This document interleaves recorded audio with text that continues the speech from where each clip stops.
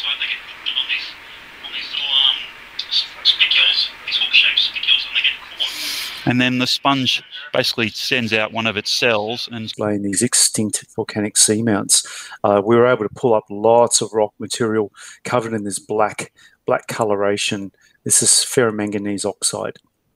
And this dark coloration that you're seeing on some of that strata is actually just an archaeologist down there. We can knock a piece off. You would see this this thin coating of uh, ferromanganese oxide, which is just uh, absorbed straight out of the out of the water column. It's natural at these depths, and uh, and that's what coats a lot of the the hard rock substrate. But this August expedition we're on, the, the rocks that we're bringing back were really thickly coated